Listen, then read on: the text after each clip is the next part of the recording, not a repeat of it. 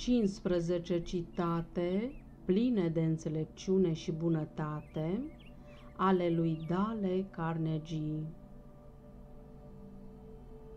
În momentele grele, când simțim că nu mai putem și viața pare că ne copleșește cu problemele, grijile, piedicile și supărările ei, să citim și să recitim cuvintele lui Dale Carnegie.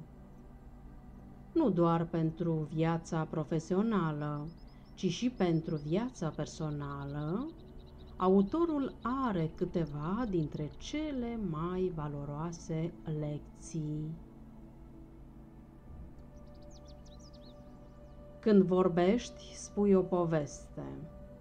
Când asculți, aduci o mângâiere. Dacă în drumul tău întâlnești un om prea obosit ca să-ți poată dărui un surâs, lasă-l pe al tău. Nu face lucrurile bine, fă-le perfect. Fii îndrăzneț, fii primul, fii diferit, fii corect.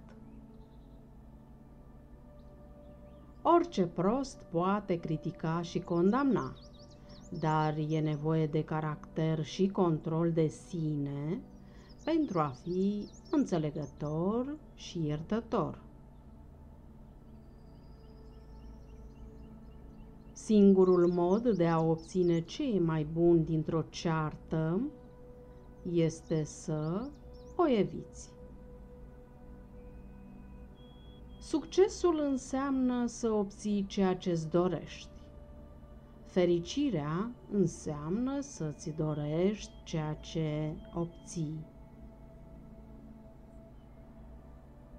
Aduți aminte că fericirea nu depinde de ceea ce ești sau de ceea ce ai. Ea depinde doar de ceea ce gândești. Asumă-ți riscul. Viața întreagă e un risc.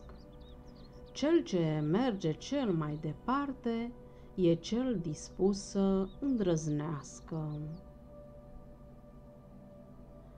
Majoritatea lucrurilor importante din lume au fost realizate de oameni care au continuat să încerce acolo unde părea că nu mai există nicio speranță. Modestia cu care îți spui punctul de vedere îi va face pe ceilalți mai receptivi. Te vor contrazice mai puțin atunci când se dovedește că ai greșit.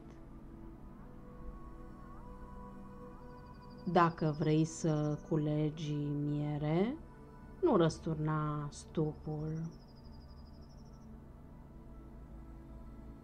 Dacă în inima cuiva clocotesc sentimente de ură și de dispreț față de tine, niciun principiu al logicii nu îl va face să vadă lucrurile așa cum vrei tu. Ați văzut vreodată un cal nefericit sau vreo pasăre deprimată?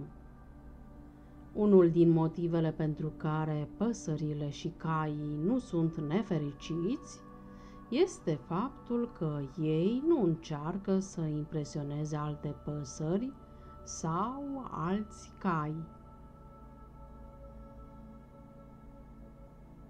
nu ți așterne un rânjet pe chip, nu păcălește pe nimeni. Îmbracă-ți chipul cu un surâs adevărat, cu multă lumină în ochi, ce vine din suflet și încălzește inimile celorlalți. Reține că numele cuiva este pentru el cea mai dulce muzică ce îi poate mângâia auzul.